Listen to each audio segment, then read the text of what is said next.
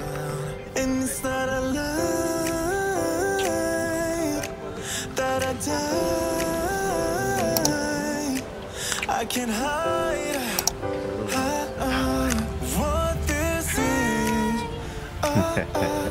Yeah, I keep drowning in those blue eyes. And you can tell me all of your lies. I, will love you, put out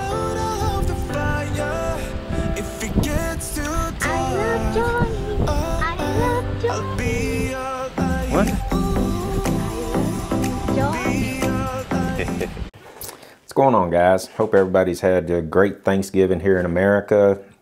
And for all of y'all watching elsewhere, I hope you're having a great weekend. So, we had a great time. You know, this was Tung Chinook's and mine's first holiday or th- first Thanksgiving together. And it was pretty special. Uh, my sister come up or come down, you know, with her family from Oklahoma.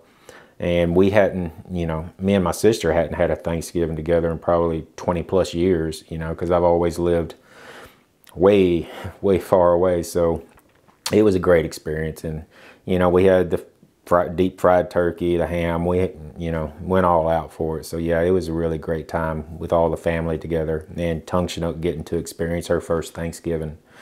So, as you've seen on, you know, the title of this video, so we are preparing and, you know, I guess I need to back up a little bit. You know, we've never talked about Tung Chinook's daughter on this channel, I don't think. And, you know, there's really a reason for that. And, you know, when me and Tung Chinook first started, you know, getting serious and talking about her coming to America and stuff, you know, it, it was her belief that, you know, she wanted to come first. And then if everything worked out, then we would bring Jao over.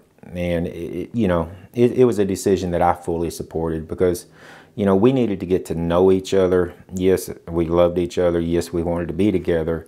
But you never quote know until you've actually lived with somebody for an extended period of time, learn their habits, learn their dislikes, likes, and, you know, etc. And she didn't want to, you know, subject her daughter to that transition period, you know, and, and I agree with that. But, you know, so I guess it's been like a month and a half now. We've been trying to get ready to start the K2 process. And for those of you that don't know, uh, you have, according to what the lawyer told me, now that's working on our green card process now, you actually have one year period where you can file a K2 on the K1. So within that first year, uh, it should go seamlessly and the process should be sped up. So but the the hurdle we're trying to overcome right now is that you know Jao doesn't have a passport, and right now she's living with Tung Chinook's mom and her mom's husband, and so yeah, that that's our problem. You see, because Tung Chinook obviously is her mom, her legal guardian, well, sole guardian, and in order to take a minor anywhere to do something like that, you know, you have to have an adult there. So what we're having to do is what I call, I mean, it's basically like a power of attorney here in America. It's just two two pages that you have to fill out. And of course, it's all in Thai for me, so I don't know re- really what it says. But the way Tung Chinook explains it is she's giving, you know, her mom the power of attorney to take Jao to the embassy to get the photo, you know, get the passport done. So, you know, we got that form. She talked to the embassy here in DC and she talked to them three times, you know, to get everything, you know, what she needed to do. So she fills out this form. We get it notarized. It also takes a $30, $30 cashier's check. Has to be a cashier's check. And you send that to the embassy here in DC. Then they, I guess, authenticate it and stamp it or something, and they send it back to us. Then we have to turn around and send that uh, to her mom or the embassy there. I think it's to her mom, and she takes it. Something like that. Anyway, we ain't got that far yet. So here's the problem we're having is that we did everything that the embassy told us to do. We sent it in. Now they've had it over three weeks, but guess what? They can't find it.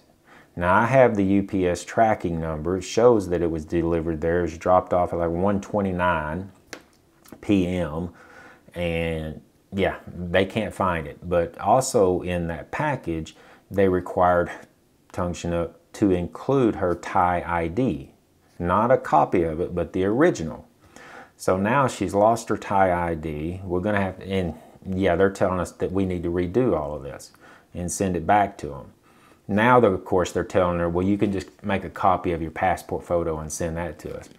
And, you know, so, but she needs her Thai ID. So she's furious. I, I'm pissed off as well because, you know, time's running out for us. I mean, she's been here seven months now, I think, a little over seven months. So that's five months we got, you know, to get this thing started. And a hiccup also that we've come into is, you know, with the COVID restrictions in Thailand, her mom can't take Jao to the uh, embassy to get this done because she's not been vaccinated yet. You see, her family lives on the outside of Surin, you know, very, very country.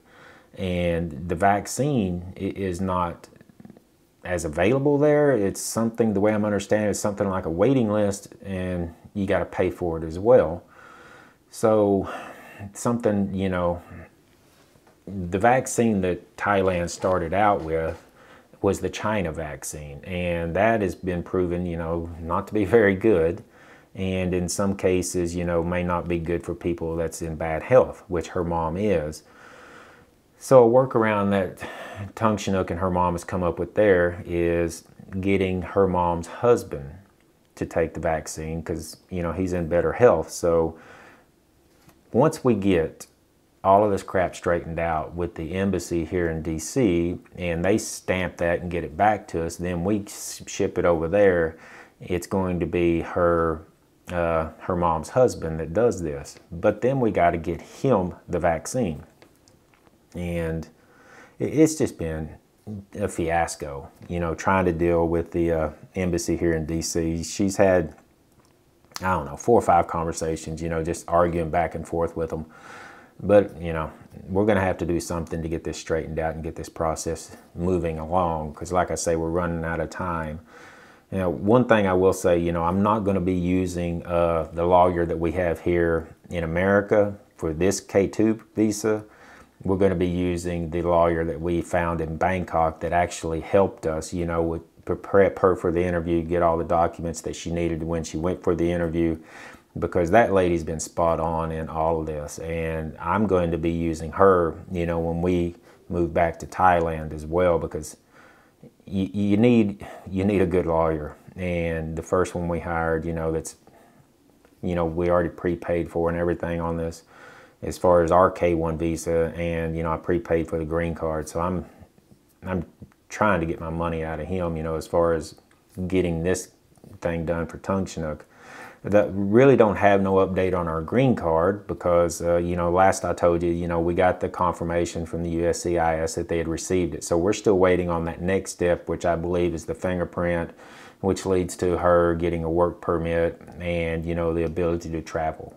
So we're still waiting on all that. But I'm praying you know that we can get uh, the K2 visa. Like I say since we're running it under her K1 it's hopefully going to be a lot faster I'm praying, you know, that first half of next year, you know, we're on a plane back to Thailand to pick Jao up and bring her back here. So that's the updates I have for you on the green card slash K2 visa. So, you know, wish us well. I hope all of y'all are staying strong and have a good week, guys. See ya.